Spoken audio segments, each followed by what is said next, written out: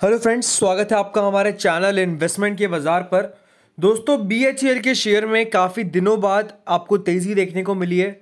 आज काफ़ी टाइम बाद सत्तर रुपये के ऊपर ये शेयर टिकता हुआ देखने को मिला है। क्या यह तेज़ी स्टॉक को अस्सी रुपये तक लेकर जाएगी? क्योंकि दोस्तों, दो तीन दिन पहले खबर भी आती हुई देखने को मिली थी आपको इस काउंटर में।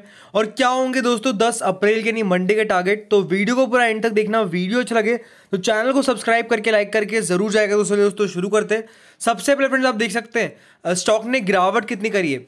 आठ मार्च से पाँच अप्रैल का टाइम पीरियड है। जिसमें ऑलमोस्ट तेरह प्रतिशत की गिरावट आपको ये शेयर करता हुआ देखने को मिला है। अठहत्तर, उनहत्तर रुपये के लेवल से ये काउंटर ने इतनी बड़ी गिरावट करी ऑलमोस्ट दोस्तों सत्तर रुपये के लेवल पर ये शेयर आया।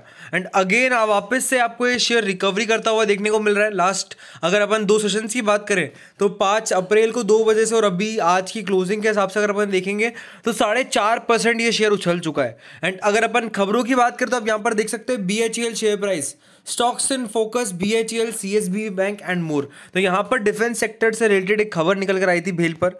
एंड डेफिनेटली पॉजिटिव खबर थी, जिसके चलते आपको स्टॉक में तेज़ी होती हुई देखने को मिल रही है।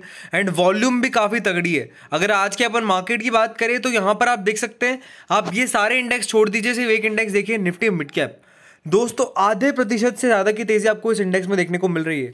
और अगर ये इंडेक्स में तेज़ी होगी तो भेल में आपको तेज़ी होती हुई देखने को मिलेगी। एडवांस डिक्लाइन रेशियो की बात करें तो 1400 शेयर्स आज पॉजिटिव में थे और लगभग छह शेयर्स आज नेगेटिव में थे।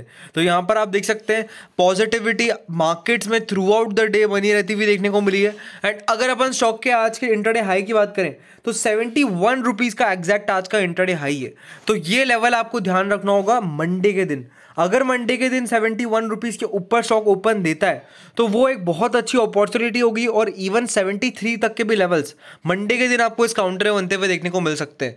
फिफ्टी टू वीक हाई की बात करें तो नाइन्टी वन रुपीज़ फिफ्टी पैसे का स्टॉक का बावन हफ्तों का हाई है।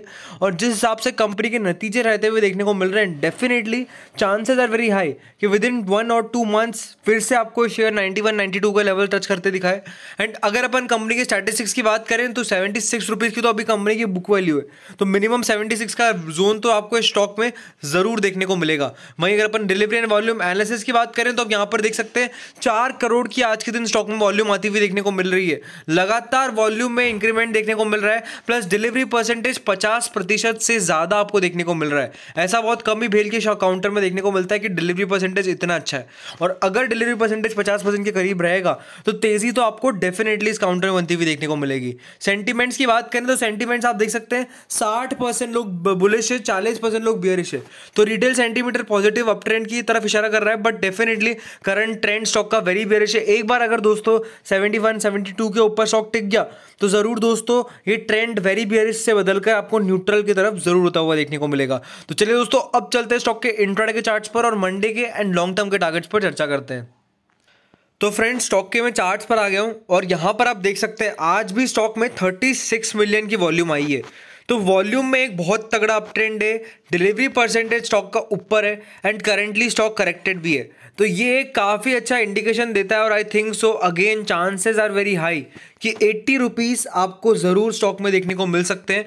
लोअर साइड पर स्टॉप लॉस की अगर बात करें तो अड़सठ रुपये का आप स्टॉक में लोअर साइड पर स्टॉप लॉस रख सकते हैं और हाइयर साइड पर पहला टारगेट होगा सेवेंटी सिक्स का और दूसरा टारगेट अस्सी रुपये का इस काउंटर में आपको शॉर्ट टर्म में ज़रूर बनता हुआ देखने को मिलेगा। अब अगर मंडे के लेवल्स की बात करें तो मंडे को मेरी यही सलाह है कि सेवेंटी वन रुपीज़ के लेवल का वेट करें।